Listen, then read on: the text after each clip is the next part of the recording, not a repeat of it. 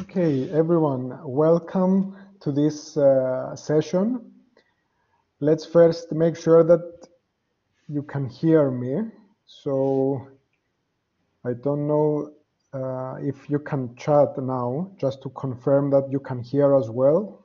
Uh, if someone could confirm, even uh, they can hear you. They can hear us. Okay, excellent.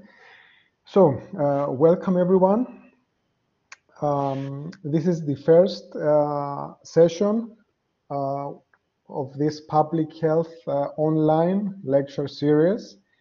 Um, thank you very much for joining us. It is a great pleasure to be launching this, uh, this initiative. Uh, myself and um, uh, my dear colleague, Dr. Theodore Lytras. it is an initiative that is under the the auspices of the PhD in Public Health, uh, as well as the Master of Public Health at European University uh, Cyprus. Uh, I will make a very brief um, introduction to the lecture series, and then I will give uh, the floor to Dr. Lytras, who will introduce our uh, first uh, guest lecturer.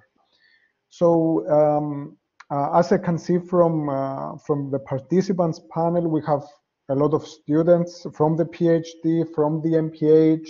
I'm pretty sure some names I'm not aware of are from the medical school and other uh, programs. So this is really great uh, for us, and because uh, the main purpose of this lecture series is uh, uh, to introduce uh, the scientific community here in Cyprus, as well as our students, of course, first of all, to um, uh, the, the science and art of public health, as we tend to call it.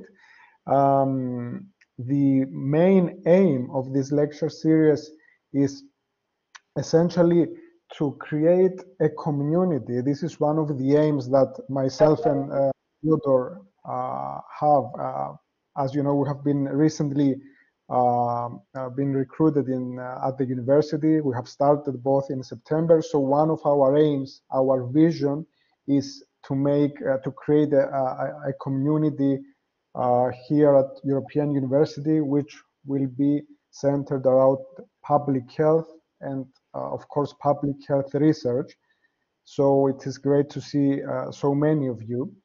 Um, Regarding the lecture series, as you will see uh, in a few minutes when Theodore will be introducing our first uh, guest, we will do our best to invite people uh, who are experts uh, on the field. And, and we feel really, really honored to have uh, our first uh, lecturer who, as Theodore will tell you, is a, is a really world-known um, uh, academic in public health. And of course, we will do our best to keep up with that and uh, expose you, if you like. It's a, it's a word we tend to use in, in epidemiology, expose you to uh, several more uh, experts. You will have the opportunity to interact with them uh, at the end to ask questions, and, and we are sure they will be more than happy to answer your questions. Generally, we try to expand this initiative, we open it to the public, and uh, we try to have an international uh, uh orientation. A, a, main problem with uh, um, generally research in, in Cyprus is that it's very kind of close-minded, if I may. Uh, so it's not so much open, uh, internationally oriented. So this is something that we will try to enhance as much as possible here at the European university. And I believe this is a great start. So uh, this is uh, my short uh, introduction. Welcome again. We are really happy to have you with us. And uh, I give the floor to uh, Dr. Lytras, who will uh, introduce our first guest. Thank you very much for joining, and we will be with you um, for questions at the end. Thank you very much. Thank you, Dr. Heraklidis. Uh, my name is uh, Theodore Lytras. I'm an assistant professor uh, of public health at the EUC uh, School of Medicine. And uh, tonight uh, we are launching this regular series of uh, state-of-the-art guest lectures in public health with a very, very special guest. He is a paragon of evidence-based medicine and meta-research. He is one of the most influential and highly, highly cited scientists worldwide. Most of you will know his uh, famous uh, thought-provoking article why most published research findings are false. Especially my students will have heard of it, uh, which is the most downloaded article in the history of public uh, library of science with millions of downloads. He was trained at, uh, in internal medicine and infectious diseases at Harvard, Harvard and Tufts, held positions at the National Institutes of Health, Johns Hopkins and Tufts before coming in a small rural town in northwestern Greece called Ioannina to chair the department of, of epidemiology there and inspiring a whole generation of young doctors and scientists, many of whom are having uh, productive clinical and academic careers around the world.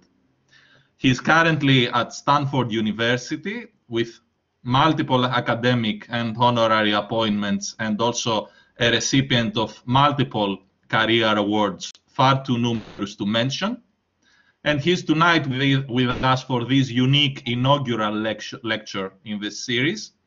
So I'm honored and pleased to present to you my teacher, Professor John P.A. Ioannidis.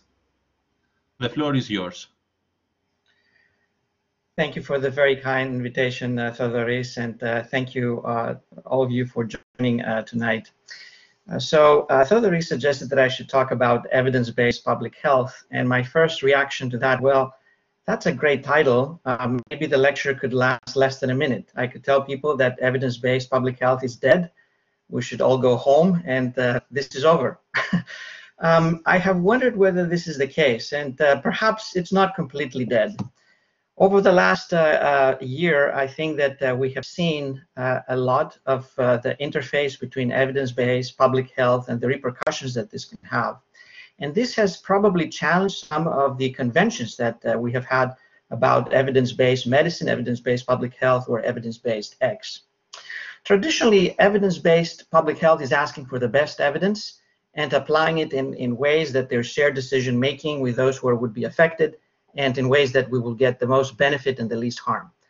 Uh, we have a history of having pyramids, uh, which sometimes work, sometimes they do not, and placing randomized evidence, randomized controlled trials at the top, along with their meta-analysis and systematic reviews, and placing experts and tweets at the bottom. So you have observational data uh, that are very close to experts. Uh, experts and tweets are pretty much the desert around the pyramid, but in the last year, I think we have seen that experts without data and tweets, you know, the blogosphere and uh, the Twitter sphere uh, have become so dominant that they're driving lots of very important public health decisions.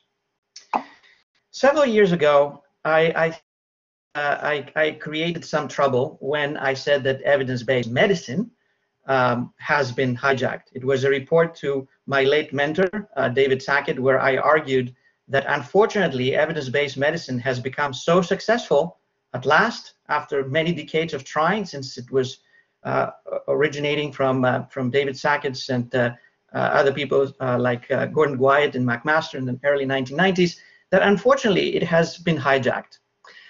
Why was that? Well, um, the, the key tool of non-evidence-based medicine and public health, I, I, use these terms interchangeably during the lecture, back in 1990, they were splendidly serving vested interests, and they included ex cathedra pronouncements by prestigious opinion leaders in various conferences, editorials, non-systematic reviews, professional society guidelines done for the glory of the profession, pamphlets from drug reps, and other marketing material disseminated in medical scientific meetings. Moving forward to 2021, the key tools of still non-evidence-based medicine and public health, their guidelines that are based on seemingly rigorous but still partisan processes systematic reviews and meta-analysis, sadly too many and too poor most of the time, randomized trials, sadly very often conflicted, observational studies and risk factor epidemiology, wow, that's meet the bias, the works, personalized precision dreams with precision medicine and precision public health, dreams and nightmares, I would say, and I'll show you why. Modeling meets speculation at its worst, and we've seen the worst in the last year, and what I call public health tyrannies that are evolving very rapidly. Evidence certainly is less than optimal. I mean, we all want the best evidence, but we often come across pyramids that have been completely destroyed. And sometimes we might find out why they're destroyed. Uh, in the past, I used to have that slide of a bulldozed pyramid by property developers. And I would say the reason for the destruction is money. So I would say money, money, money. But now I'm switching this to money, allegiance, or zealotry. And I think all of these are very prominent in the demise of evidence-based public health. So randomized trials. Do we have randomized trials in public health decisions, in decision making? We have a database, uh, COVID evidence, that uh, we have launched uh, uh jointly with uh, my colleague and, and former student, Lars Hemkens, the University of Basel, where he's the deputy director of epidemiology um, and clinical epidemiology and biostatistics there's 22,840 trials of pharmaceutical interventions done in the last year, uh, launched or, or registered for COVID-19 related issues. There's only four trials of non-pharmaceutical interventions that would pertain to what I would call more like public health issues. This is a, a paper that uh, I published uh, several months ago with uh, uh, Ioana Cristea and Florian Naudet, where we said we, we need more of those. We need more trials of public health interventions like social distancing interventions or things that make such a huge impact in our daily lives that we try to apply that are changing our world. Is it impossible to do that? Well, people, smart people like Trisha Greenhalgh um, at Oxford says that, well, it cannot be done. That's the end of evidence-based medicine. Now, COVID-19 has told us that we should just forget about it. It cannot be done. PICO, the standard approach of population intervention comparison outcome, cannot be applied. Randomized trials have horrible deficiencies. They take forever to be done. They cannot be done. Uh, just forget it. Evidence-based medicine is a nuisance. That's very interesting because Trisha really made a career out of publishing a popular book about applying evidence-based medicine. I mean, she, she never had like a methodological career. You know, suddenly she becomes the arbitrator of methods and throwing down uh, whatever made her previous career. That, that's that's wonderful. That's uh, that's a way to uh, reinvent yourself, I guess.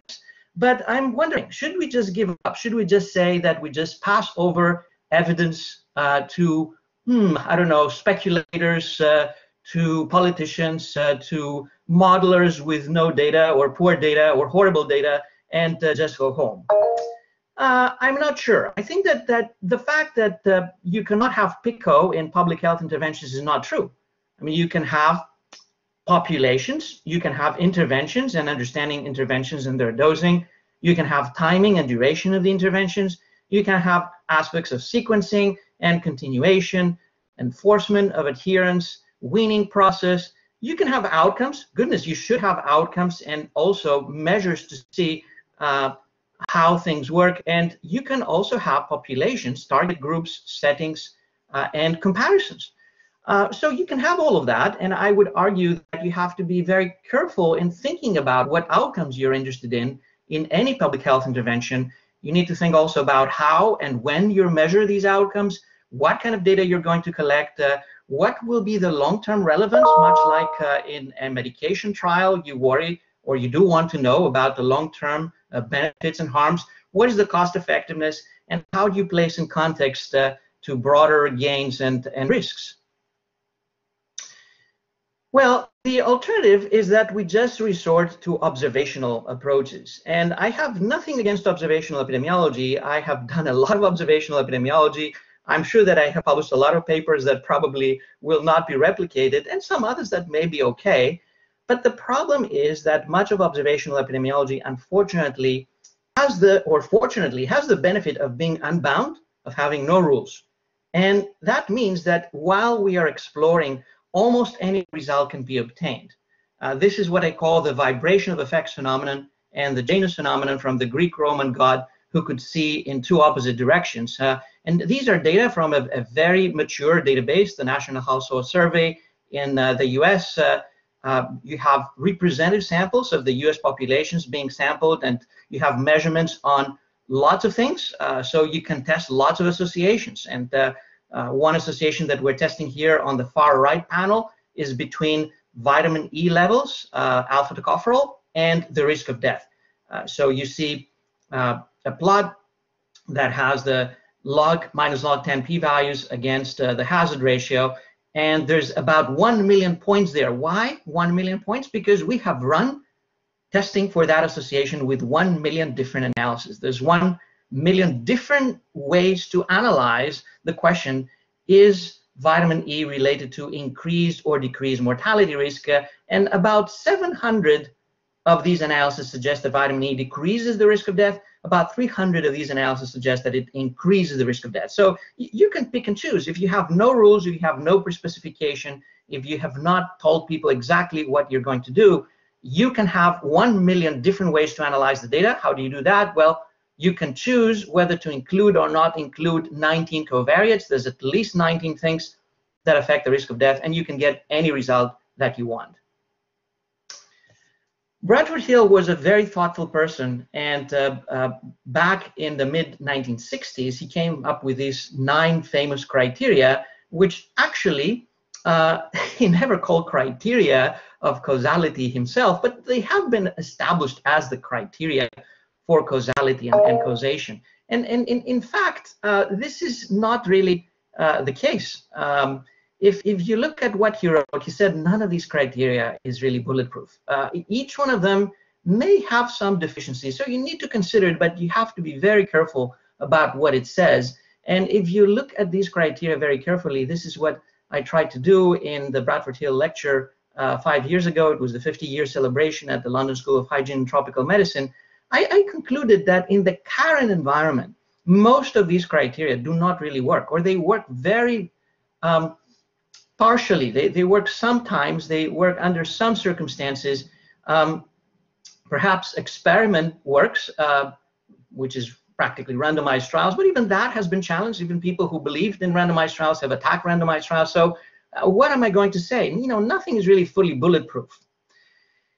Modeling which has become highly dominant in public health and uh, both science and uh, uh, decision making is unfortunately even worse. Uh, uh, many months ago, we published that paper in the International Journal of Forecasting saying that forecasting for COVID-19 has failed. And it's not just COVID-19. I think that modeling and trying to make predictions, especially about non-static phenomena, is extremely, extremely difficult. But why is that? There's multiple reasons data tend to be poor. You can have poor data input on key features uh, of what you're trying to model, in this case, the pandemic. Uh, and that goes into very theory-heavy uh, based forecasting. The, the poor data can also affect database uh, forecasting. Um, many of the assumptions tend to be very speculative and tenuous, and they can be obviously wrong, especially if you accumulate more evidence. You realize that many of the assumptions are completely off estimates can have very high sensitivity. Um, key epidemiological features tend to be ignored in many of the models. Uh, I, I, I, think that modeling in public health has been uh, invaded by people who have absolutely no clue about public health, have no clue about medicine for sure. Uh, they have no clue about epidemiology, to be honest.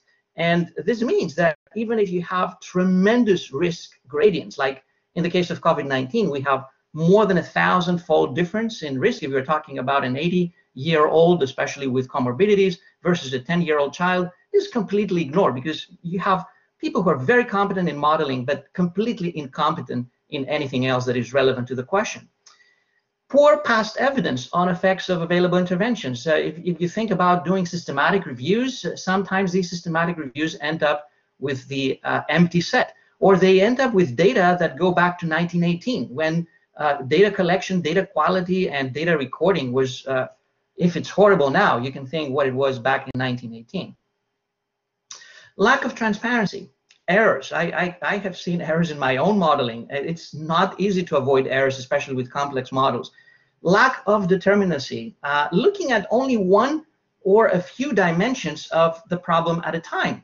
Uh, this is very common. You know, people just look at cases, for example, or hospitalizations. They ignore that there's dozens of other things that public health is interested in. We should be interested about mental health, about acute diseases that are not treated, about chronic uh, prevention that is disrupted, about suicides, about zillions of other things that are not really included in the same model to give us a holistic picture. Lack of expertise in crucial disciplines, as I mentioned before, groupthink and, and bandwagon effects. Some, some of these teams are very powerful, and once they publish something, especially in a major journal, everyone needs to fit to that paradigm. And finally, extensive selective reporting. Models are the, the worst of all in terms of selective reporting. There's absolutely no pre-registration. There's no transparency on what is going to be done. You just report whatever you want and whatever really fits your narrative. Specialties have grown both in medicine and uh, in uh, public health. Uh, uh everyone has become a specialist, and this is good if you think about uh, uh, the need to have people who are extra experts in, in specific sub sub disciplines. But I'm wondering whether this is saving public health or actually just maximizing the clientele and creating an inner structure with bandwagon effects. We, we see that very often experts tend to maximize the importance of their own expertise, leaving everything thing out if it's not relevant to what they do. So we see a lot of disease monitoring in many medical and public health specialties. We see broader definition of disease and illness, treatable range, for example, what is hypercholesterolemia, what is hypertension, what is metabolic syndrome and, and prediabetes.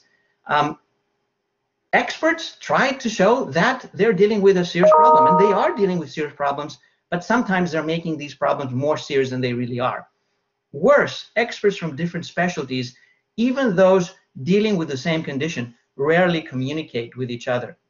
This is uh, one example from the treatment of uh, basal cell carcinoma. It's the most common cancer uh, practically, and uh, there's two schools.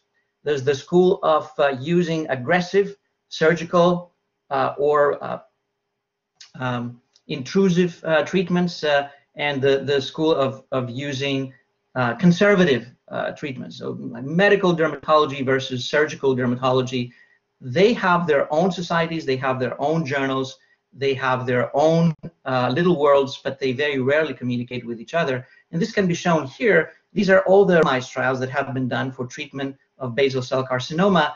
Uh, nodes are treatments, and you see the group of the conservative ones at the uh, bottom left, and you have the aggressives and the surgeons' uh, uh, surgical treatments on the uh, on, on the other side, uh, if you see connections, it means that uh, there's randomized comparisons, and you see that there's only two little connections between the two worlds. So, the, so some lesions probably are amenable only to one type of treatment, but the vast majority of the lesions that are being treated here are such that we would like to know whether it's better, better to go down a medical path uh, or a surgical path, but we don't really know which one is best.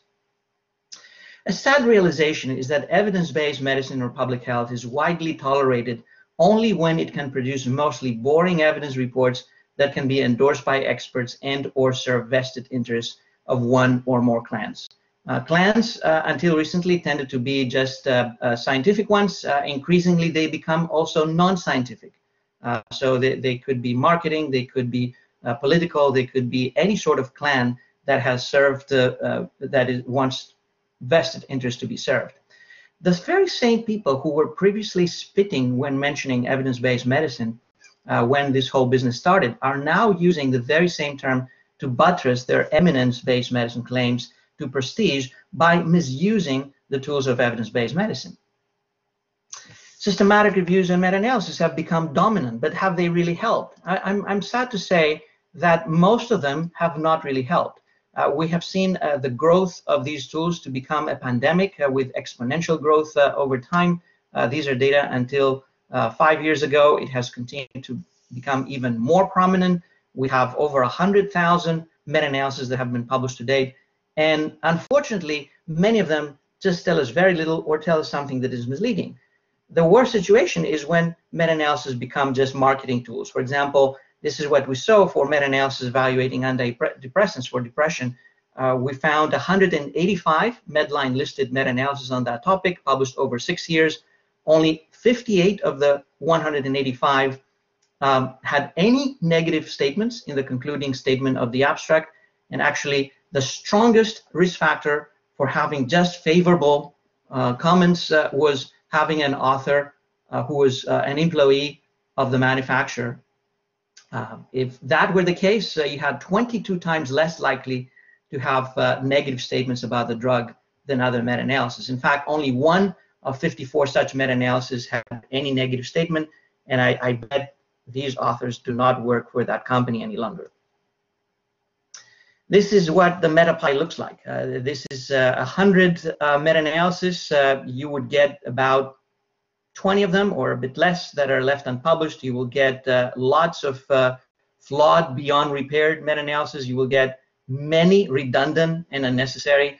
You will get a lot of misleading meta-analysis, specifically around abandoned candidate gene genetics you have some, you know, perhaps uh, 15 to 20% that are decent, but not really useful. The questions that they ask and they try to answer are not really of any importance or any portent.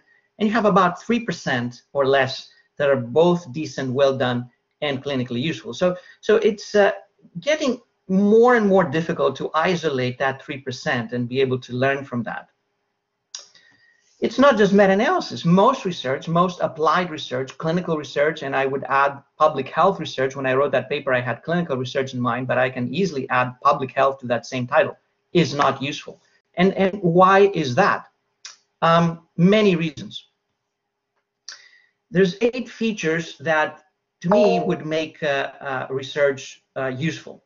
Problem-based, context placement, information gain, pragmatism, patient-centeredness, value for money, feasibility, and transparency. Is there a problem? Or are we creating a problem and then trying to, to solve it, but it doesn't exist? Have we sought what is the prior evidence on the topic? Uh, so how, be able to really put things in context. Uh, designing something that will give us sufficient information regardless of what the result is going to be. It, it could be a quote unquote positive result, it could be a negative result. Are we going to learn out of this? Is that reflecting real life? This is particularly important in public health. If it does not reflect real life, you know, what what what do we care?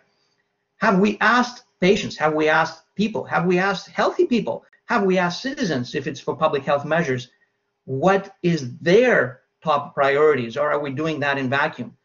Is the research worth the money? Is the intervention worth the money? Uh, is the intervention worth the side effects uh, or the adverse effects in terms of people killed by the intervention sometimes when it comes to public health interventions. Feasibility, can it be done? Even even uh, randomized trials are often abandoned. You know, some fields like surgical randomized trials, about 40% have to be abandoned because of uh, futility.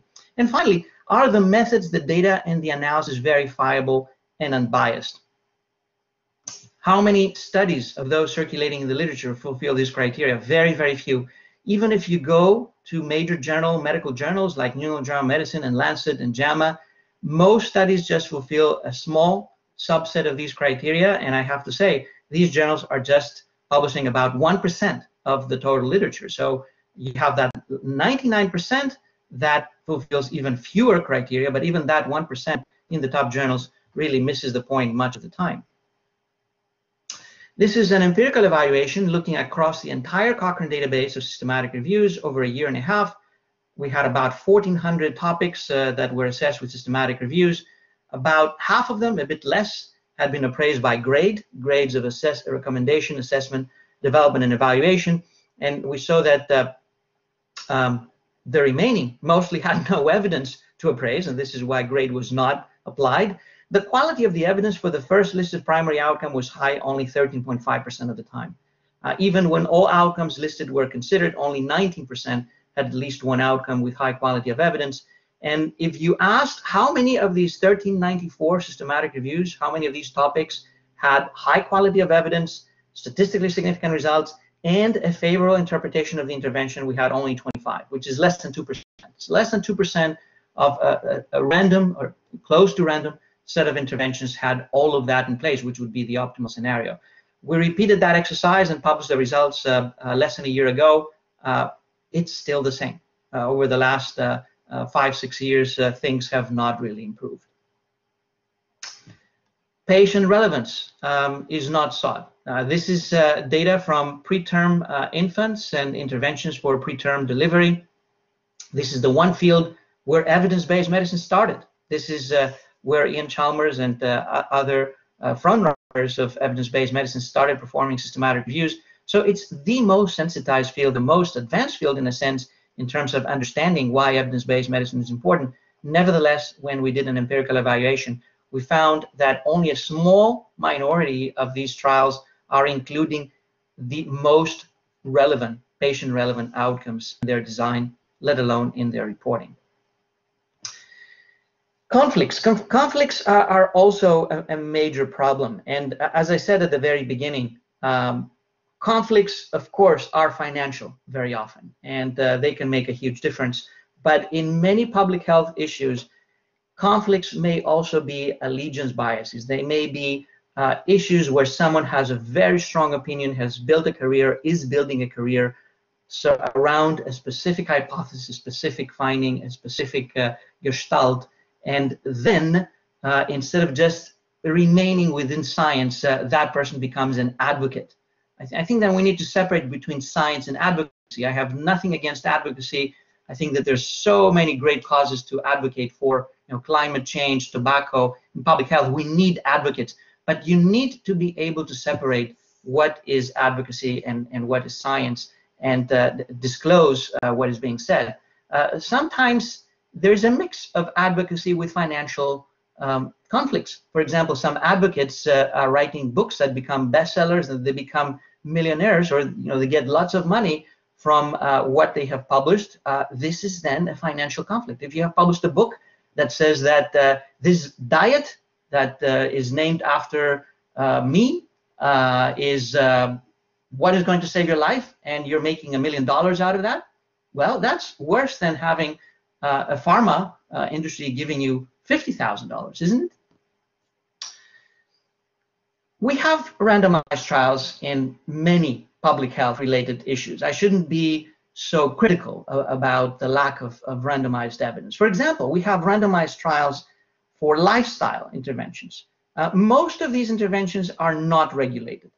Many of these trials, most of these trials are not registered even when they're registered, they're very hazy, they're very vague about what exactly they're studying and how exactly they're going to run the analysis. So uh, statistical analysis plans are almost never to be seen in these trials.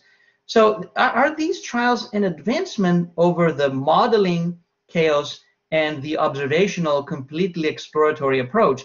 Not much, unless you really have what these randomized trial strengths would be, which is securing randomization and also making sure that uh, you will get uh, some solid pre-registration and pre-specification of the outcomes. There are additional considerations. There are many uh, cases where you have very strong location effects. We, we have randomized trials that are conducted in countries that have very limited expertise in running randomized experimentation.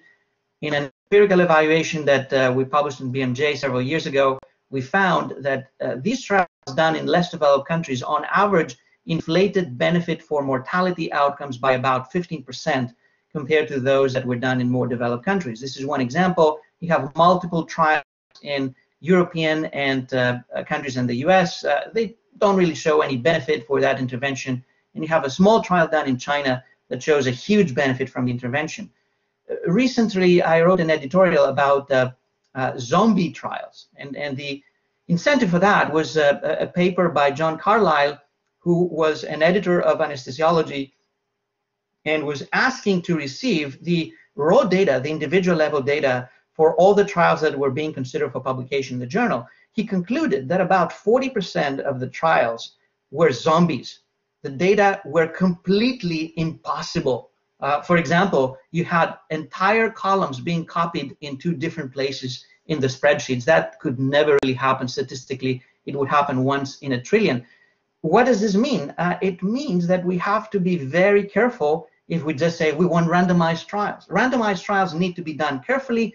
They need to be done in a valid way. They need to be done in a way that they would be trustworthy. Real world evidence pragmatism. Um, randomized trials, most of the time, they're not pragmatic, and this is where they're being attacked by many of their critics. Uh, uh, you have tools like PRECIS-2 that has been developed, is looking at different domains like eligibility, recruitment, setting, organization, flexibility um, of delivery and adherence, follow-up, primary outcome, and primary analysis. Many trials are claiming to be pragmatic, real world, but if you look very carefully, actually, they're not. What is the motivations then for trying to get pragmatic evidence with other means other than uh, randomized trials? Well, uh, a very common invocation is that we want to see what's happening in the real world. But if you look carefully, even for non-randomized studies, it's not really what's happening in the real world that is being studied. You have very select circumstances, you have very problematic circumstances that are very difficult to generalize in the real world uh, in most of these cases. Uh, when uh, we looked at uh, a set of studies with routinely collected data across the board, we found a sample of 337 routinely collected data dependent studies, and very rarely the investigators could make a good claim that it would be unethical or difficult to uh, uh, randomized trials uh, on these topics. We also have empirical evidence in comparing randomized trials versus studies with routinely collected data. This is from a paper we published six years ago in the BMJ, and we saw that on average, when you have some data from randomized uh, uh, data collection uh, analyzed with propensity score, for example, which is you know one one method, propensity methods to try to take into account for imbalances and for the preference of people to get one treatment, one intervention versus the other. And you have no randomized trials preceding that, and then you do a randomized trial, uh, you're likely to be off by 31% uh, on a odds ratio scale for mortality. Uh, so this is a huge deviation because mortality benefits, if you're lucky, uh, they may be 5%, they may be even 3%, they could make a difference. So 31%, the potential error is much bigger compared to uh, whatever benefit might be there. Are there dramatic enough effects to warrant no randomized data? Just to say, this is so obvious. It's, it's like uh, uh, jumping from an airplane without a parachute. You shouldn't do that. Well, you can very well jump from an airplane without a parachute and there's even a randomized trial that has randomized people to jump from an airplane without a parachute versus with a parachute, and it found no difference. Why was that? Because the airplane was stationed on the ground when people jumped from the airplane. So um, there are some cases where people say the effect size is so strong that I'm going to say I will never need randomized documentation. We've looked at data from EMA and then also looked at data from uh, FDA approvals so with my uh, good friend and colleague Ben Djulbegovic, and we found that on average, these settings corresponded to effect sizes from non-randomized evidence of an odds ratio on average of about 12. So yes, these are pretty large, but that 12 was just the average. And it varied tremendously. In many cases, the odds ratio was one or even less than one. So how do we survive that misinformation mess?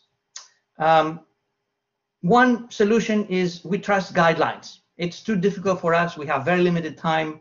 Um, how can we find out all the studies and all the glitches and all the biases? Let's have someone do it for us, come up with a guideline. Well, guidelines probably are the least trustworthy source of information. Unfortunately, they have become many specialties marketing tools and potential threats to, to health, both of patients and of public health. Why is that? Because many recommendations that have been out there for a very long time from the National Academy of Medicine and, and many other organizations are not really followed. We still have sponsors who are supporting these guidelines and they have obvious conflicts of interest. We have people who are paid uh, by companies or by stakeholders to come up with specific conclusions. We have sometimes no obvious financial conflict, but the members of the panel have been picked uh, with a stacking process, which means that someone has looked at what they preach, what they believe, what is the narrative that they endorse, and just cherry pick those who agreed with a particular narrative you know, is the best way to uh, create a task force for COVID-19 or for anything else. You just get people who agree with you,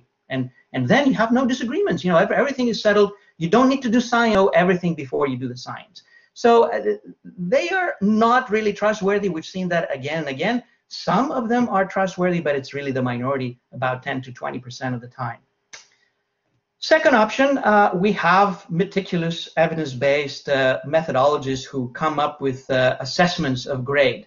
Yes, this takes more time and it can be incorporated also in guidelines, but in most cases, and most of you who have done grade assessments, you will realize that it's not easy. Uh, they have lots of uncertainties. They have quite a bit of subjectivity. At least they give some structure, but uh, it's not necessarily very concrete. And as I said, most of the time you have very few uh, pieces of evidence that survive with high quality of evidence.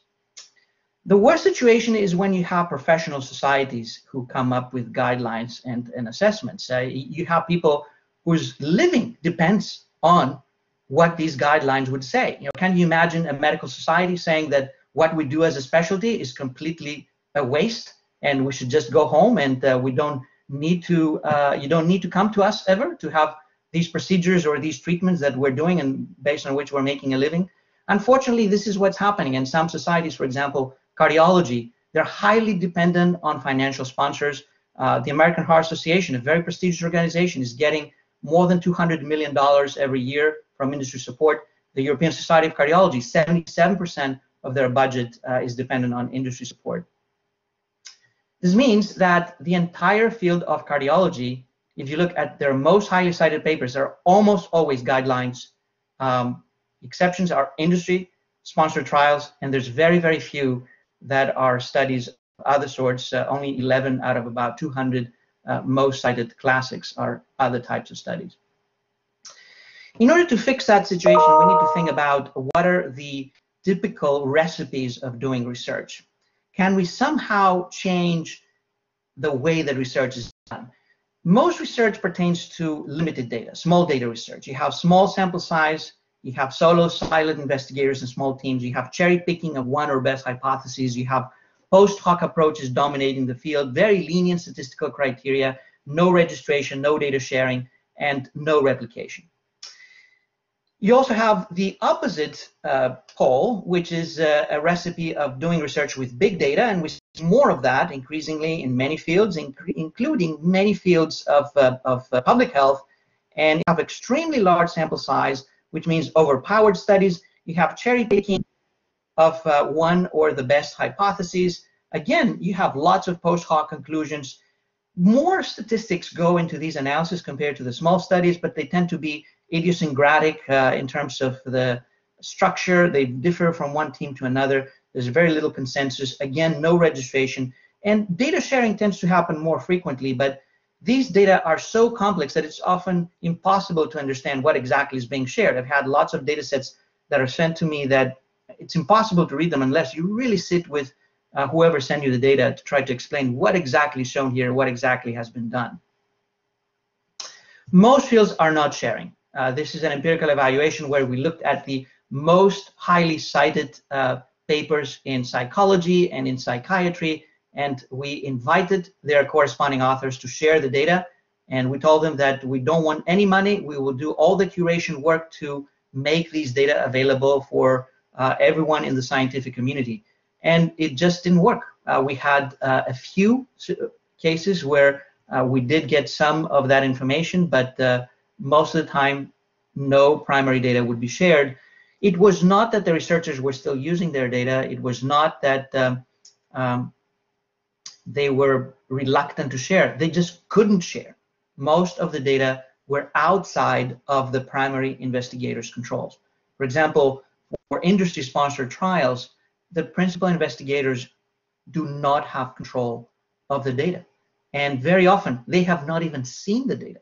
Very often, it's just the sponsor who is sending them an analysis and they just put their name in it. I mean, they make editorial changes, they craft part of the manuscript and the discussion, but they have never seen the data. And we saw that very prominently in the COVID-19 era with papers published in the Lancet, for example, on hydroxychloroquine, supposedly coming from uh, hundreds of sites around the world worth of data. You had a, a great professor from Harvard putting his name as first author, and then it was realized that this data did not really exist, and the, the paper had to be retracted. Of course, it's not fraud. I think that in most situations, these are valid efforts, these are reliable uh, trustworthy data. But it's it's really sad and and worrisome if the principal investigators have not seen the data, they have no control on the data.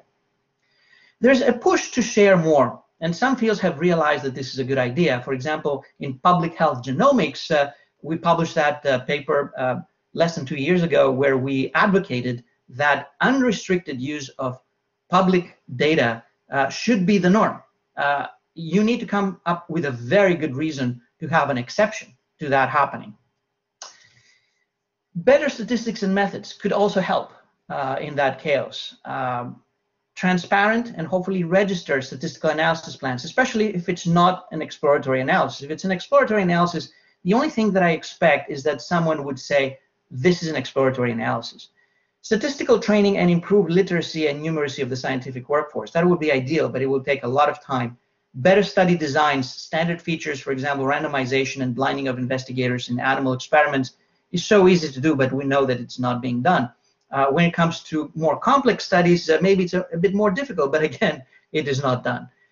Checklists, can they save the world? Uh, they can help. There's lots of checklists out there, and some of them may help improve some of the standardization process, but they're not the final answer. Uh, and I, I, think that uh, we need to think how to intervene at the stage of designing studies rather than just wait for the reporting of studies.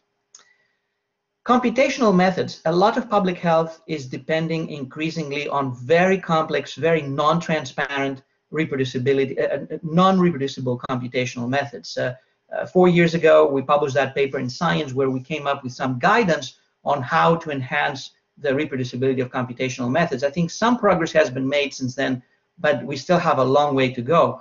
The major challenge is that there is a trade-off between transparency and complexity in, in much of that uh, computational space. Uh, some of the most promising models are the least transparent. They're very complex, and that means that uh, if you really want to say what exactly was done, you really need to be very careful and provide information for each and every one of the nodes and the decision steps that were taken on how that particular modeling would be implemented.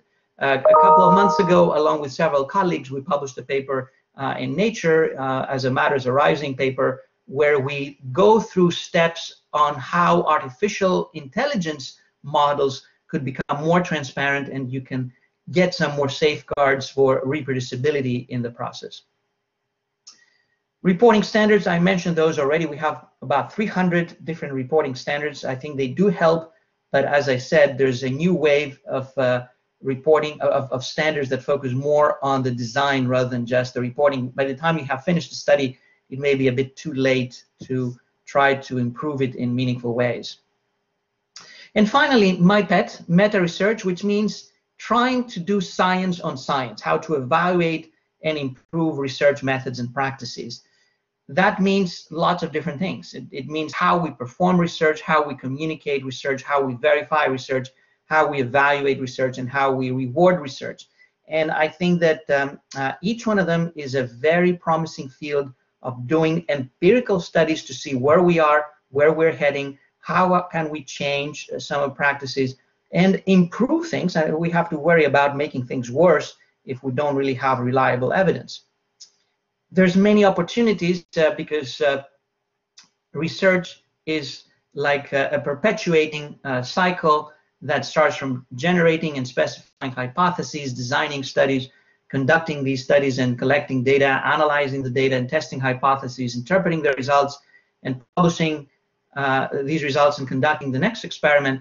Uh, and there are opportunities at each one of these steps to intervene and to try to avoid some of the biases and some of the shortcomings that are making our life difficult. These are some uh, possibilities uh, uh, that we discussed in a review paper that we published three years ago. and to do this, you need to think of how to re-engineer the reward system. I think that currently we pay a lot of attention to productivity, uh, so you know numbers of papers or numbers of citations. I have nothing against productivity. I, I love writing. I, am I'm, I'm a maniac uh, writing papers, uh, but it's not enough. We, we need to give additional priority to quality, to reproducibility, to sharing, and to translational impact. Uh, and this reads like an electrocardiogram, PQRST. Uh, we need to reward people who pay more attention to quality, to uh, making sure that they share and they allow the reproducibility of their work. And when it comes to public health, translational impact, of course, is paramount importance. It's not just curiosity, it's about lives, lives of, of people, lives of population. Sometimes we're talking about millions of lives being at stake. So how do we prioritize our reward system for promotion, for uh, funding, uh, for tenure in, in universities to align uh, with these goals? We published a paper in the BMJ several months ago with David Moher and his team where we looked at the promotion criteria across different medical schools and we saw very few criteria were really aligned with that vision. So there's plenty of room to grow in that direction.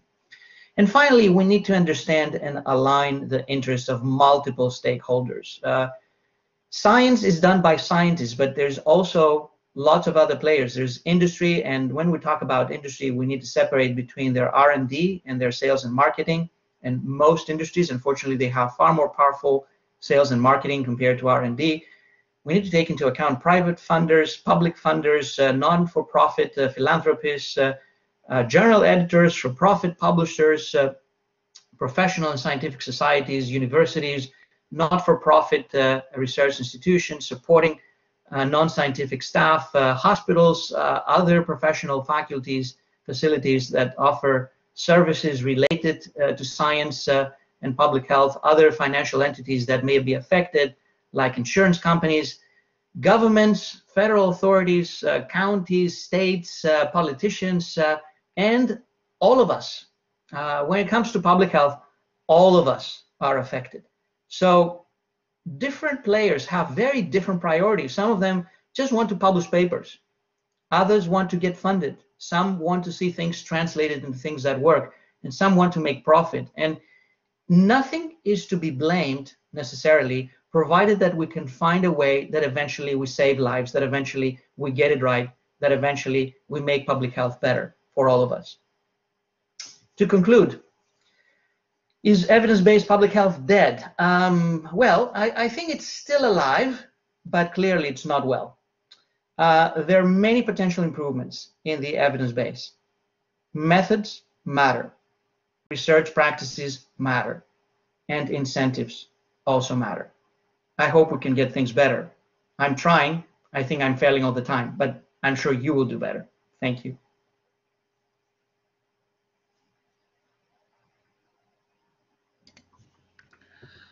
So thank you, thank you very much. This was uh, excellent.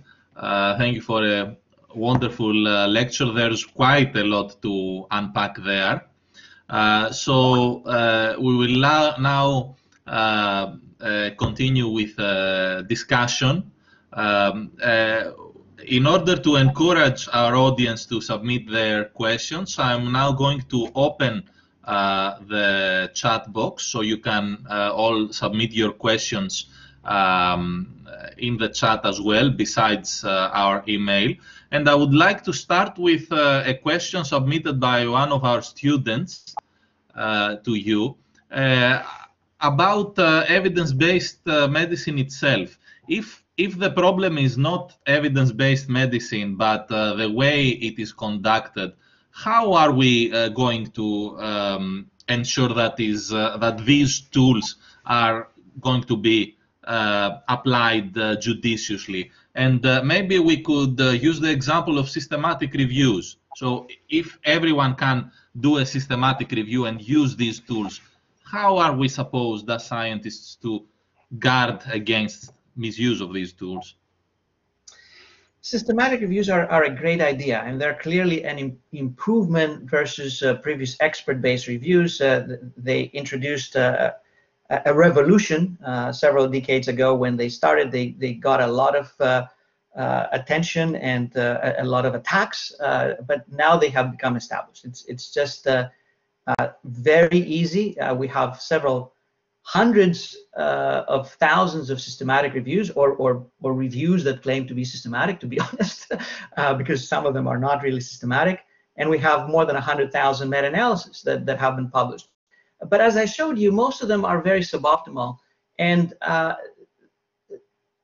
there are multiple layers of problems. Of course, the primary evidence is something that we need to worry. And uh, we need to improve the primary evidence if we want ever to have systematic reviews that can tell us a little bit more other than just uh, the evidence is very poor. um, worse, many systematic reviews are telling us the evidence is not poor it's very strong, or you know, here you have a an effect size with a p-value that uh, you know glitters like gold, uh, and then people jump and say this is final, this is perfect, uh, and and this is enough. And I think that this is even worse. So, as I said, it's a multi-step process, and you can make improvements at all stages. You can make stages at the design of the research agenda, at generating the primary evidence, at performing these systematic reviews, at interpreting these systematic reviews, at writing guidelines, at having these guidelines implemented. Uh, I, I, will take offers for improving any of these steps, and of course, all of these steps needs to be need to be improved. It's not just one that will save the world. So thank you. Let me pass the floor to Alexandros for a few more questions. Thank you, Theodore. So, uh, Professor Ioannidis, thanks again for the great presentation. It was really uh, an eye-opener. I mean, it was uh, really, really useful for everyone. So we cannot see any questions at the moment. So I have one of, ah, maybe. Ah, okay, so we have one from a colleague actually. I was about to ask mine, but let's go with uh, Dr. Lamnisos's question. So I'm reading from the chat. There is a trend of using machine learning, computational methods, and big data methods in health and public health. What is your opinion about the potential usefulness of those methods in evidence-based public health in the future? So you can also see the question, uh, Professor Ioannidis, in the chat. If you want me to repeat it, uh, I would be more than happy to do so.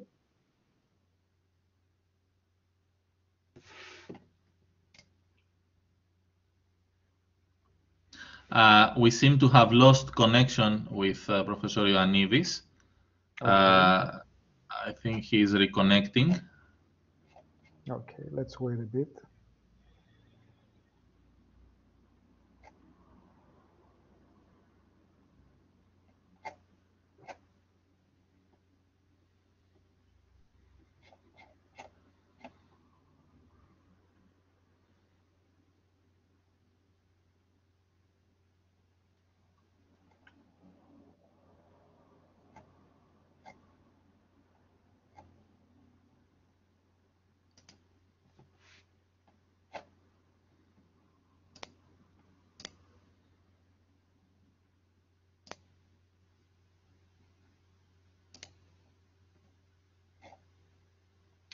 So until uh, Professor Ioannidis joins, uh, I would encourage our students to to ask questions. I mean, there is nothing, you know, there there is no bad question. You know, it's uh, anything. Even if you think that something may be obvious and you don't feel comfortable asking, I mean, you you can do so. It's uh, absolutely fine.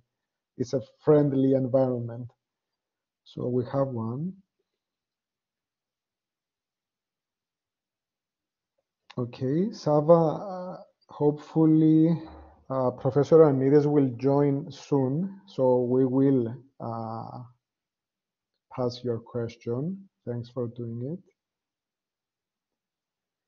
Uh, Theodore, I'm not sure if we have, uh, maybe via email, if we can contact uh, Professor Ioannidis. Oh, okay, I, am. I was just about to do the same. Although I see him right. Ah, he, he's back. I think. I think he's. Yeah.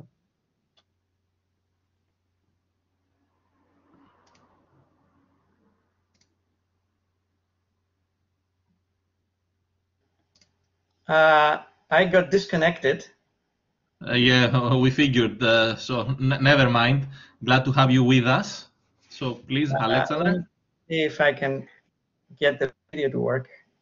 Um, yeah. Okay. Okay. Yes. Great, okay. Great. Great. Uh, no, this never no worries, no worries. We we actually had the chance to talk a bit with our guests so that they they come up with a few questions. So no no problem at all.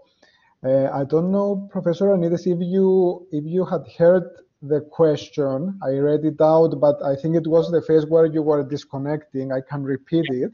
Yes. And you can also check it in the chat uh, as well yourself, but uh, of course I can read it out again is yeah. from uh, our colleague, uh, Dr. Dimitris Lamnisos. So let's go. There is a trend of using machine learning, computational methods, and big data methods in health and public health.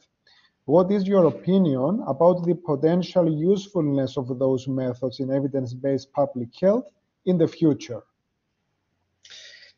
Fascinating developments, uh, great potential. Uh, I never say no to better methods.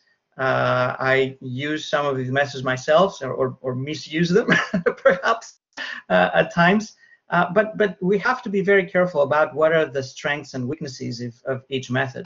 In, in most cases, uh, the problem is not so much our computational machinery. The, the problems are very traditional, kind of prehistoric problems of, of just traditional clinical epidemiology. If, if you have a wooden cart if you put a Lamborghini engine in it, this is this is not going to run at, at 500 kilometers per hour. And and most of the time, I see these very sophisticated tools thrown at data that are so suboptimal, so weak, so error prone, so misleading that that you know you just give a, a haze of uh, wow, I'm I'm using a very fancy machine learning method, and therefore the the conclusions are going to be strong. No, the conclusions are going to be weak. They're going to be dismally weak if if the data uh, are, are very weak and, and if the, the structure that these data are collected is very weak. To make things worse, I think that much of that machine learning community has absolutely no background in traditional epidemiology, clinical epidemiology, uh, research design. I, I see lots of papers that have very limited or no information about some of the key features that, that would be critical to, to ensure that they are there uh, before you start using these powerful methods. So we need to communicate more. We need to cross-link uh, different types of expertise. I'm great that we have more uh, tools to use, but but just thinking that these tools are going to save the day, no, I think that in many cases they make things just horrible. Uh, let me interject here with another related question. Uh, it is about modeling. So you were uh, almost, uh, may I say, almost dismissive of uh, epidemic modeling, and you even called it speculation at its worst. And in fact, I tend to mostly agree with you, but nevertheless, I wonder, do you see any chance to save modeling? Like, for example, if we use it for very conservatively, like to uh, uh, assess different scenarios or maybe maybe to use only for short-term predictions or monitoring than long-term effects. So any chance that modeling can be useful? Well, I think that uh, this doesn't mean that modeling should be dismissed completely. And uh, I, I, refer you back to uh, that paper uh, in International Journal of Forecasting where we end up with making suggestions on how to revert or avoid uh, or bypass some of, of these biases and shortcomings that I read to you. So each of these shortcomings, if you're aware of them, you can do something to try to minimize them. Uh, so you can improve data, you can avoid selective reporting, you can get expertise across the board. You can be very careful with depicting the uncertainty of the model. You can try alternatives to see how robust the conclusions are. You can have validation, you can have sharing, you can have reproducibility. You know, all of that will make things better.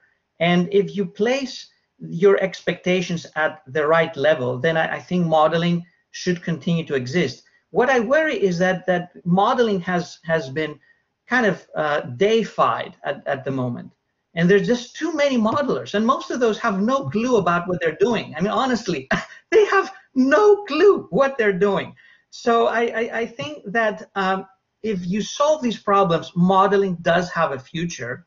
And this is what we conclude in that paper. Conversely, there's another paper in that very same issue by Nassim Taleb, which is kind of a uh, the opposite pole. Uh, we had these papers side by side, kind of a debate. In the beginning of the debate, we said we're going to take the position that modeling really is horrible, and Nassim Taleb will take the position that modeling is is great. And uh, at the end, uh, he said that modeling is always bad in a way. And we said, no, it is bad, but it can be fixed, at least to some extent. So I, I don't want to dismiss modeling. I do modeling myself. I, am sure that I have produced my own horrible models now and then. Uh, but it can be done better. I, th I think it can really be done better, and we can place expectations at the right level. Uh, let me also ask you another question about uh, saving uh, something before I pass on uh, to Alexandros again for our audience questions. Uh, about guidelines. So you um, uh, said that guidelines are often used as a marketing tool, especially those guidelines authored by professional societies. And full disclosure here, I have worked uh, as a grade methodologist for a European professional society. So uh, I wonder if you think there is any chance to save uh, guidelines uh, and their reliability, particularly by applying grade. I fully understand the tensions, and uh, as uh, someone who was who should instruct experts to work with grade, I appreciate the tensions. But do you think that uh, it is hopeless. Uh, can we have good guidelines that are actually informative? Uh, so guidelines do have a role, and uh, uh, if, if they are functional, if they're appropriate, if they're unbiased, uh, they can help. Um, if, if you take a random sample, I would say about 80% of guidelines that circulate in the market at the moment, they have one or more red flags based on our BMJ list of, of red flags that make them pretty unreliable but about 20% of them are fine. And again, we need to try to find ways to increase that proportion and also make their impact larger compared to those that have very obvious red flag problems. Grade is a machinery that could help. And I, I, think that on average, societies and organizations that have adopted grade, on average, they're doing a better job compared to those that have not. Uh, but grade alone will not save the day because if you don't take care of all the other steps, for example, the creation of the panel, the stacking, the, the conflicts of interest, uh, you can have guidelines that use grade and, and still get you a very erroneous message. So it, it's not hopeless. Uh, we have good guidelines. We have some excellent guidelines, uh, but I, I, think we need to fight to get their proportion to be higher in the overall uh, universe of, of guidelines that are circulating out there. Thank you. Alexandre? Yeah. Okay, so let's move to the next question from our uh, audience. Uh, so Savas Michael Amygdalos um, is asking uh, about a, a, very hot topic, of course. So um, Michael is asking, what is the evidence data right now in, uh, in case of the major issue of side effects that are derived from COVID-19 vaccine related also with allergies. So probably in other words, what is the evidence telling us about that? And uh, probably Savas is also asking about the, the quality of this evidence or your uh, perception about the quality of this evidence coming about vaccine uh, uh side effects in particular. Yes, so uh, goodness, I mean, we, we, we could easily spend uh, five hours on this. But the, the, the, short answer is that the evidence is what it is uh, for now uh, for uh, vaccines that uh, were developed very quickly, very successfully, I have to say, an amazing scientific feat, and which have very limited follow-up. You know, we have randomized trials, phase three trials. They were pretty decent, and they show a very good safety profile within the narrow time frame of these uh, randomized trials. We also have some evidence from those people who have been vaccinated so far um, close to 200 million doses have been given uh, so far, at least uh, for the, the two vaccines that uh, had the early emergency authorization. So we have some evidence. I would say the evidence is such that I would not say that people should withhold vaccination because of concerns of toxicity. But do we have the complete picture? No, we don't have the complete picture. We need to keep collecting information and evidence both on the real world effectiveness and we start having some data from Israel at the moment, as well as the long-term safety and large-scale population level safety. So um, I, I, I, think that um, there are concerns that have been expressed. We need to watch them very carefully. I think it's inappropriate to say that we know everything about these vaccines and uh, uh, we should just give them a blank check. Uh, they have received emergency authorizations, which means we have a major crisis. We need to use them right away. But this is not equivalent to full licensing. So it, it, I think it, it would be just offering ammunition to the anti-vaxxers and the anti-vaccine movement if we just say that we know everything. We don't know everything. We're still collecting information, but what we know suggests that uh, vaccination should hopefully help and should continue. Okay, great. Thank you very much. So moving on to the next uh, guest question. So Alambanis Ioannis, uh, I would like to know your opinion about medical confidentiality and access of private companies in sensitive medical data. What, was, what is your prediction slash opinion about the future? So medical confidentiality and access of private companies in sensitive medical data.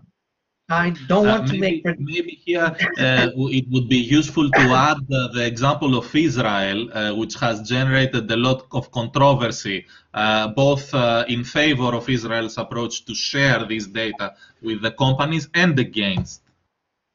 Exactly. Yes. So we are seeing a very rapidly shifting landscape, and I cannot make predictions in in in this regard because there's so many stakeholders and some of them they're so powerful but also uh, changing their perspectives and their priorities over time that it's very unpredictable where we would be. I, I, think that there's a major tension. One is that you want to do your best to maximize uh, privacy and confidentiality and respect the wishes of, of people, of citizens, to not have information leaked. Uh, at the same time, as I said, I'm in favor of data sharing uh, because I think that this enables better transparency, more reproducibility, uh, more trust in the information and, and better information. So we have tools that can allow us to do both. Uh, we have tools that have improved our ability to de-identify. We have tools that allow for securing transfer of data in ways that uh, you, you maintain the confidentiality within the space that is intended. Um, I, I, think it's an issue of how do we optimize the balance between these two worlds and use the tools that we have in, in the most appropriate way. Uh, I do worry, even though I'm a very fervent supporter of open data and sharing data about uh, an invasion of privacy. I do worry a lot about that. Uh, and I, I, worry even more because much of that invasion is happening entirely outside research. Uh, it, it's not research, it's not even something that has a public health orientation, you know, or, or saving lives or improving lives. It's something that, that some very powerful tech companies have every reason to try to get information so that they can make more money. Uh, and I think that some of the conflicts compared to, let's say, pharma, big pharma conflicts or big food conflicts, are going to become much stronger because some of these high-tech companies are far more powerful than the previous players. So we have to watch very carefully on what they do, how they try to do that, how they sneer sometimes private citizens into sharing their information, sometimes without even them knowing that they're sharing everything about their lives. Um, so I, I, don't I don't want to sound like a conspiracy theorist because many of these high-tech companies they have uh, amazing advantages uh, for all of us, but uh, but we have to be very careful about what are the boundaries uh, and how do we secure that we we all get the best out of uh, of these developments. Okay, great. Thank you very much, Professor Ioannidis. Let's move on to the next question from our colleague uh, Konstantinos Giannakou. So let's go. Umbrella reviews, parentheses, meta research, research studies were conducted over the last years in many different research fields to summarize the evidence derived from many systematic reviews and meta-analysis. After applying their credibility criteria, only a minority of included associations had strongly significant results with no suggestion of bias, as can be inferred by substantial heterogeneity between studies, small study effects, and excess significance bias. What could be the next step? Could be these research studies, could these research studies be utilized? Do you have any experience on this? Or I, I would add any opinion uh, on this. So meta uh, umbrella yeah. uh, reviews. Umbrella reviews. Uh, I, I, I, think I've done many umbrella reviews by now. I, I, I actually introduced the concept of, of umbrella reviews uh, uh, many years ago to have a fair sense of what that looks like. Uh, umbrella reviews most of the time are saying most of the evidence is not very strong. so it's uh, it's just taking that statement that we see very often in plain systematic reviews to the higher level of having multiple systematic reviews. Again, concluding that most of the evidence is is not really convincing uh, or even highly suggestive. It's very weak. It has problems. It has uncertainty, and uh, we have to be very careful. Um, is that useful? I, th I, think it is useful. It just gives us a sense of the landscape of where we are, uh, what do we have, uh, what kind of uh, information and evidence we have collected, where do we have the most prominent gaps, uh, what might be some best next moves, and uh, what should we do in terms of using that evidence uh, for applications or for decisions. So it, it is um, the, the challenges are the same as for plain systematic reviews, but kind of exponentiated because now you don't have just one systematic reviews, but 50, 100, uh, 300 systematic reviews that, that you, to try to amalgamate and take a look uh, in, a, in a bird's eye fashion. Uh, useful, but, but not definitive. And I have to say that the criteria for saying what is uh, convincing and suggestive and, and weak, th these are criteria that I developed a long time ago. And they may well be wrong. I, am I'm not saying that, that they're conclusive by, by any means. These criteria are just a, a set of things that are sensible to check and pretty objective to, to check, you know, like amount of evidence, consistency of results, presence of hints uh, of bias. Um, there could be lots of other things that are missing. It, it, it's not like the entire picture about the evidence.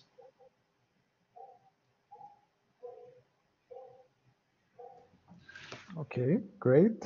So, uh, Theodore, you you want to go ahead with uh, the next one? Yes, uh, let me continue with uh, another question, and I would like to uh, return to uh, public health.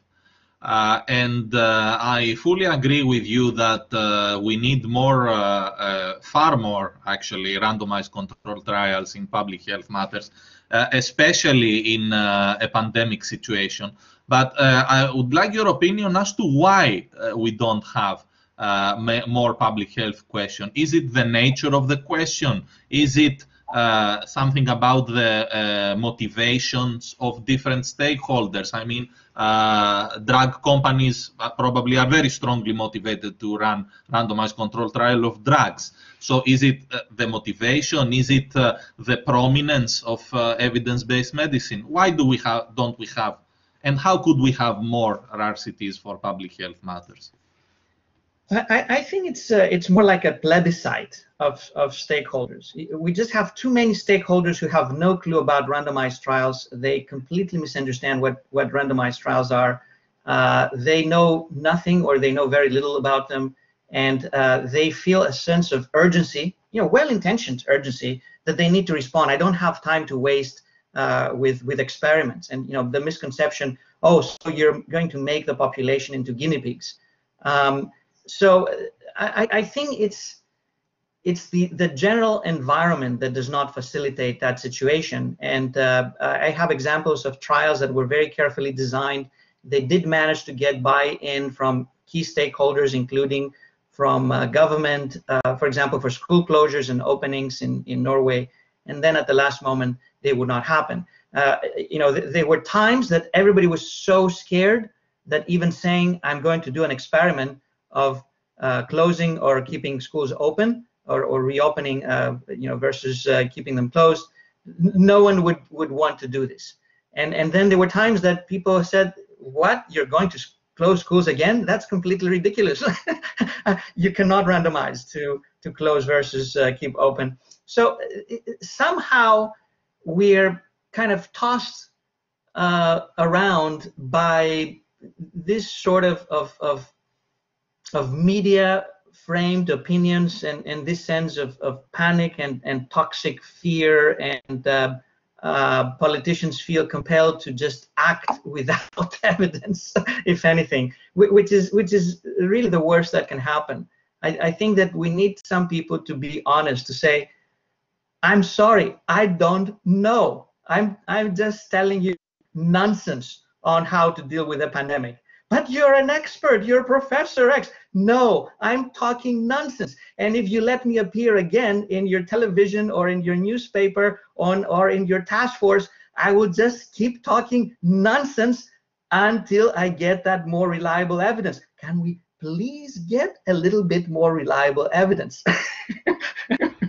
How many people are going to do that? You know, most people enjoy being in the limelight and uh, you know being task force members and a little bit of a dictator of everybody's life with no evidence. Yeah, sounds you know, sounds very boosting to egos.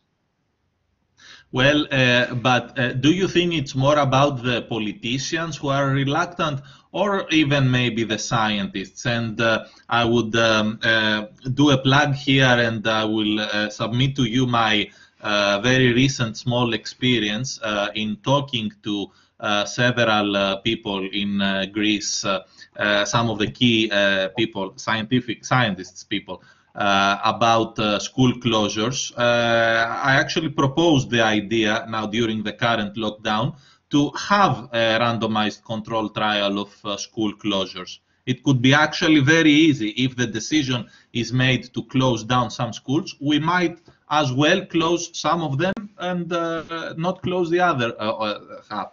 But uh, what impressed me the most was the sense of resignation by the scientists who have to interact with the government.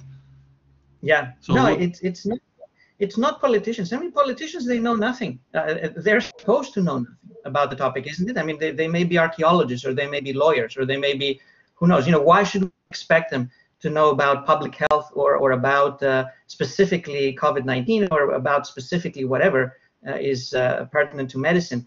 they should not. They're not expected to know. So I think, yes, it does come back to scientists and it comes back to what is the training of scientists, what is their their mentality, uh, how much they know about evidence-based medicine, about the need to get proper evidence and uh, and evidence that that matters. And and I unfortunately, everything you know from our educational system all the way to teaching how to do research to how to prioritize uh, types of designs and questions is not in favor of doing this. Uh, so uh, somehow we are stuck. We're we're paying the price of scientific illiteracy and innumeracy and in evidence-based training within the scientific workforce in an acute situation. And we pay a high price in this acute situation. We have been paying this price for decades, but now we pay a high acute price because it's an acute situation. So, so you you uh, uh, said you talked about scientific illiteracy among the scientists. Uh, so quite provocative there. But still, I would like to ask another question. You also mentioned about uh, uh, different uh, specialties in science and in public health. Being siloed and having little to no communication with each other. And we also see that during the current pandemic. I mean, you have uh, infectious disease people and epidemiologists. You have uh, clinicians and uh, public health people. You have uh, chemists doing uh, extremely interesting work about uh, COVID in sewers and epidemiologists and so on. How can these start, how can these people actually communicate? Is it the motives? Is it just, how can we improve their communication? everybody is needed. I mean, we need all these specialties, we need all disciplines. I would argue we need far more disciplines than have been involved. Uh, for example, you need mathematical sociologists, you need uh, uh, behavioral economists, you, you need uh, operational research uh, people, you need uh, crisis management specialists, you, you need psychologists and psychiatrists, you need the behavior change specialists. You, so it's not just epidemiology and infectious diseases and, and chemical engineering which is what you typically see. And, and I have to say, epidemiology, you, you don't really see much. I mean, there's very few epidemiologists, really epidemiologists, who are involved in, in most of these task forces. Usually it's clinicians, uh, infectious disease clinicians. And I say that even though my, my clinical specialty is infectious diseases, uh, which is very different from, from what you really need, which is a conglomerate of multiple domains, multiple disciplines, multiple types of, of expertise to be able to cross communicate. It's not easy. But unless we have all of these people be able to cross communicate and convey what each of these disciplines knows and does not know, we will not get very far. Public health needs to be holistic. it's not just one specialty. It needs to look at people in the WHO definition of health. It's not just one type of health outcome that uh, we should worry about. We should worry about health in its totality. And this is structured integrally within many other types of, of human activities. So un unless we do that, we're very short-sighted. And, and uh, uh, I cannot give more advice other than just try to get as many uh, people and as much diversity into these deliberations and these discussions to try to hear about complementary views that may get you uh, closer to to a, a, more responsible response.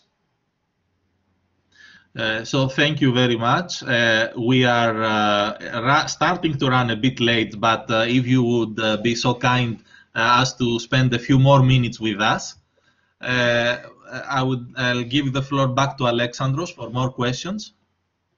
Okay. You, I'm, I'm, teaching a course uh, uh, right after the session, so it, it cannot be very long, but I'm, I'm very happy to okay. answer a few questions. So let, let's say maybe five minutes, Professor Ioannidis. Uh, that, would that be, be okay? Of Excellent. Course. So I'll make a quick question myself and then uh, maybe one more from the audience, uh, Theodore, and I think we can wrap yes. up after that. Yes. Great. So I will kind of link my question that I, I had in mind uh, uh the past half hour or so with what you have been now discussing with Theodoros.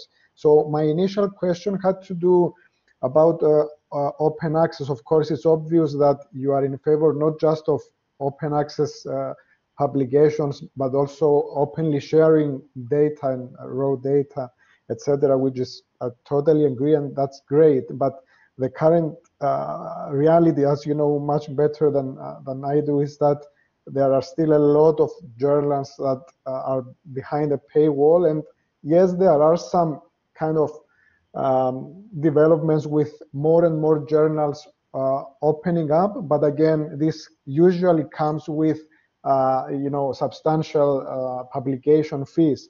So uh, the first part I would say is where do you see that going? I mean, I mean, we really trust your, let's say, um, uh, gut feeling about this. Uh, do you ever see it actually becoming uh, totally open access? I mean, research in general, the next, let's say, five years, or is it something totally out of the question.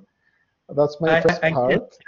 I, I, think that I cannot make predictions uh, five years from, from now, but uh, in principle, I'm in favor of open access, and I think that there are initiatives that are trying to make it the default. There were plans for, do, for doing that in the EU, for example, uh, and they're still being debated uh, to some extent. Many journals are shifting in that direction. I think we'll see more and more. Will be all open access? I don't know. I cannot promise you that, but um, I, I worry that open access is just uh, one frontier that is not necessarily the most important because if let's say you have an open access journal and, and you can read all the papers and you can download the papers and, and read them, most of these papers are just advertisements. You know, it's an advertisement that I did this research, trust me. Uh, the data are not there, the code is not there, the methods are very sketchy. So you cannot really recreate. You just have to trust the advertisement that uh, this was research that was done. And uh, with complex research, like modeling and, and many other types of complex research, that advertisement is entirely cryptic. So um, it, it's uh, it's not going to save the, the key problem of lack of transparency, just making these papers open access in terms of uh, whether you need to pay a subscription fee to access them or not. Yeah. So the key is uh, basically open access to, to data. Uh, I, I, I, understand. Methods. And the second, methods, yeah. methods and data. So total transparency, very clear. Uh, the second part, which could be a comment, I mean, if we don't have time for an answer, that's absolutely fine. Uh, I mean, for me, the, since we have touched a bit uh, uh upon the pandemic, a disappointment, I would say, is, is the lack of trust of the public towards the scientific community. I mean, for me, that was heartbreaking to realize. I mean, we are all kind of behind our laptops and excited about doing research, and then this comes and uh, it, it throws to our face how how low is the confidence of the public, and this has to be linked somehow to uh, you know, publishing openly. It doesn't mean that the public will go and read our articles, but uh, generally, I think it would help uh, to be more transparent. And I don't know if you have a, a comment there, and uh, we can have another question and, and wrap up. That, that's that's a very very difficult question, um, and even to phrase it, uh, and let alone to answer it. I, I think that during the pandemic, uh, the general public was just given a bolus of science. You know, all of a sudden, they were getting a little bit of science here and there, especially for some topics like nutrition. Most of that was actually substandard, unfortunately, because it was like like the weakest types of science that was being communicated uh, more prominently to the public. And now suddenly you have an acute situation where you have dozens and hundreds, thousands of scientists speaking and speaking and and telling people what to do and how to change their lives and and how they're going to die and and and how we are in a crisis. And you cannot teach 7.7 billion people science overnight or in 15 days or in one month. I mean, you cannot even teach scientists science overnight or within within a few years. So, so that's that's where the crisis comes. You have easily consumable quote unquote science digested and processed and and tossed around by billions of people. Uh, it's a unique opportunity because we want to have science being relevant for all of us. I mean, that's amazing, but it, it can really backfire if we get it wrong. So, so we have a nice opportunity. It's a teaching moment in a sense. And now we will see how good teachers we are. Exactly. Thank you. I'm a very poor Thank you. I'm afraid.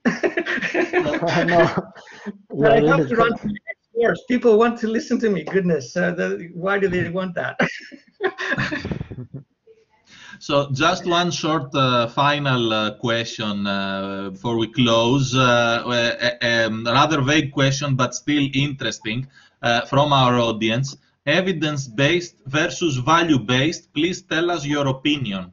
Maybe I would uh, rephrase that as, is there any actual tension between evidence or values? There shouldn't be. in, in the very early definition of evidence-based medicine, you need to understand values.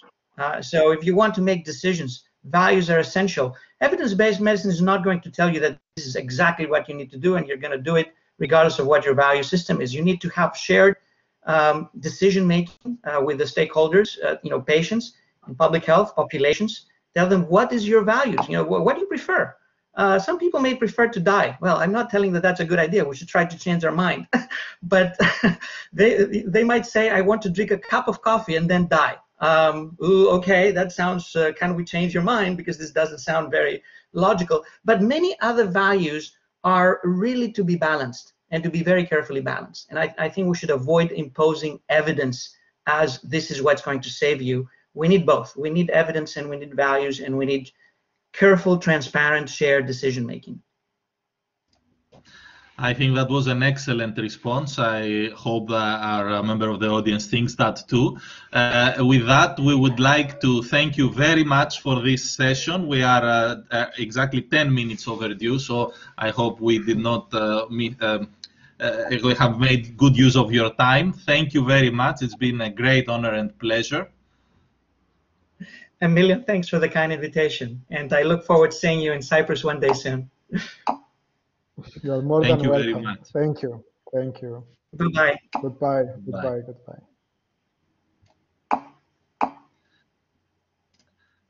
And thank you to the to our audience as well. Absolutely. Thank you, everyone.